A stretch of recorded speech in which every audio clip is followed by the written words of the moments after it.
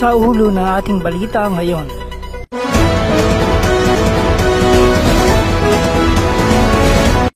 Lalaking security guard ng LTO natagpo ang patay na nakabigti sa kanyang inuupahang bahay sa Barangay San Joaquin sa Maria Aurora, Aurora Province.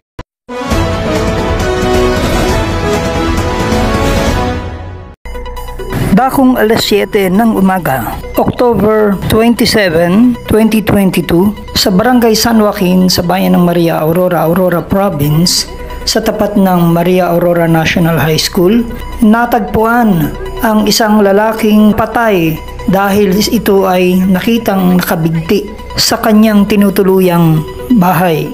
Nakilala ang lalaki na si Ian Apolonio nasa apat na pung taong gulang. May pamilya ngunit hiwalay at nagtatrabaho bilang security guard sa LTO Baler. Kagabi ay mayroon pa siyang ilang mga bisita, babae at lalaki kung saan sila ay uh, nagluluto. Nung madaling araw, siya ay lumapit sa isang kapitbahay na dating nitong tinutuluyan na si Ruby Faro at siya ay nakikain doon at nanghihiram ng pera at nung makauwi ito at nang sumapit ang umaga, natagpuan na nga lamang siyang uh, isang malamig na bangkay, nakabitin ng lubid sa leeg sa kanyang inuupahang bahay.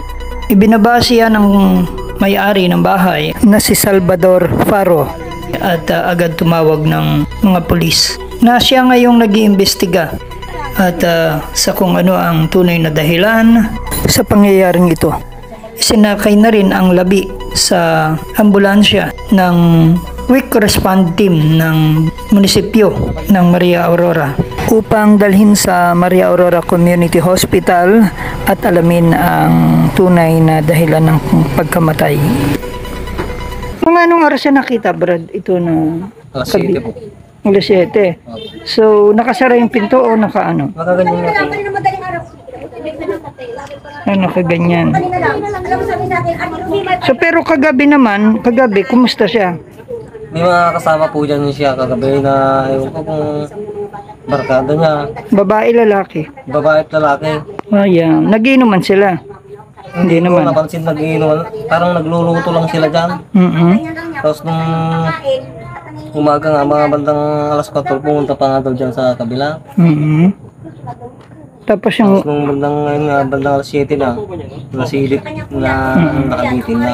Tapos ibinaba nyo kaagad. Binala, binaba ko, yung kasama ko yung estudyante. Mm, malamig na siya noon. Hmm, hinawakan ko yung kamay niya, yung malamig na. Mm, okay. Sige. Ilang buwan na siyang nangungupahan dito sa inyo? Mga kung siguro nga, mga limang buwan po Ah, siya. limang buwan. Ah, Dati raw doon sa kabila. Ano? Okay. Sige.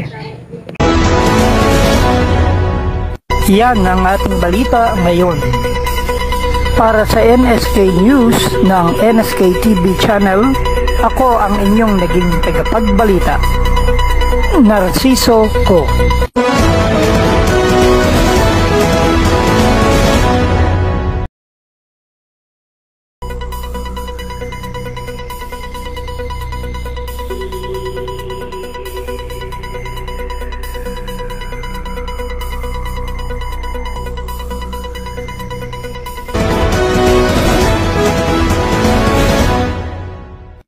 Sa ulo ng ating balita ngayon.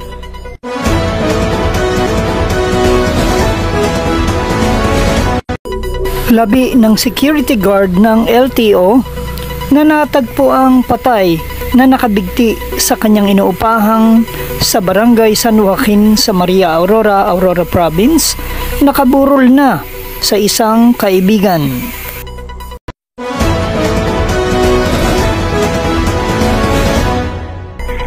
Nakaburol na ngayon sa bahay ng isang kaibigan na nagmamalasakit ang labi ng security guard na natagpo ang nakabigti sa kanyang inuupahang bahay at wala ng buhay.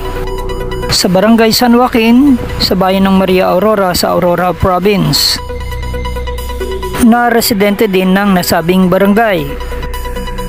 Ito ay nakilalang si Ian Apolonio, 42 years old, na magbe-birthday ngayong Nobyembre 23. Ang labi ni Apolonio ay nakaburol ngayon sa bahay ni Susan Galam na kanyang isa ring matagal ng kaibigan. Hindi na rin ninais pang kunin ng kanyang asawang si Megan, Dangko, ang kanyang labi dahil matagal na rin silang hiwalay. At doon din siya dinadalaw ng kanyang mga anak at ah, sumasama sa burol. Ang kanyang may bahay na si Megan, Dangko, na nakatira sa barangay 3 ay dumadalaw rin naman sa nasabing burol. Si Ian at ang kanyang asawang si Megan ay may dalawang anak, isang 19 anyos at isang 8 taong gulang na pawang mga babae. Isang nag-aaral sa Ascot at ang isa naman ay nag-aaral sa Maria Aurora Central School. Ang kanyang asawang si Megan Danco ay isang OFW na plano ring umalis pagkatapos ng pangyayaring ito. Ang labi ni Ian Apolonio ay nakaburol sa Barangay 4 sa Maria Aurora. Dakong alas 7 ng umaga, October 27, 2022, sa Barangay San Joaquin sa bayan ng Maria Aurora, Aurora Province, sa tapat ng Maria Aurora National High School, natagpuan ang wala ng buhay na nakabigti itong si Ian Apolonio sa kanyang tinutuluyang bahay at inuupahan. May mga nagsasabing namumroblema si Ian sa kanyang pamilya o trabaho. Ngunit patuloy pa rin ang investigasyon ng Philippine National Police sa Maria Aurora. Yan ang ating balita ngayon. Para sa NSK News ng NSK TV channel, ako ang inyong naging tagapagbalita. Narciso Ko.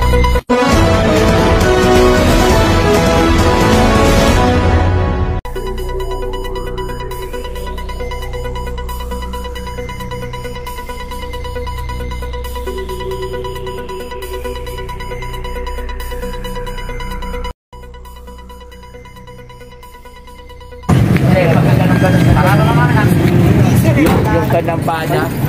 Yung ganong ganong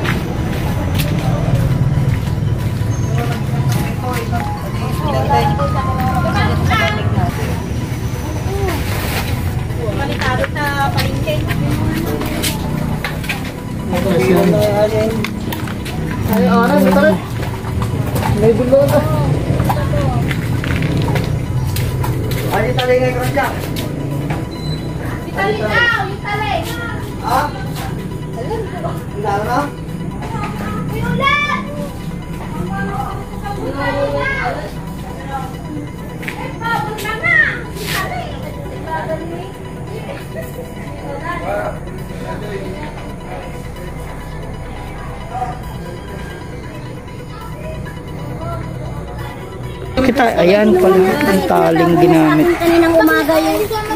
Cellphone mo. Niyo lahat eh. Halika lang. Uy, sir. Sir, makikikuha na kuha kasi pinag... Taliti tayo. Ah, sige, sir ko, yung taliti yung dahil na. Sige, barbaro!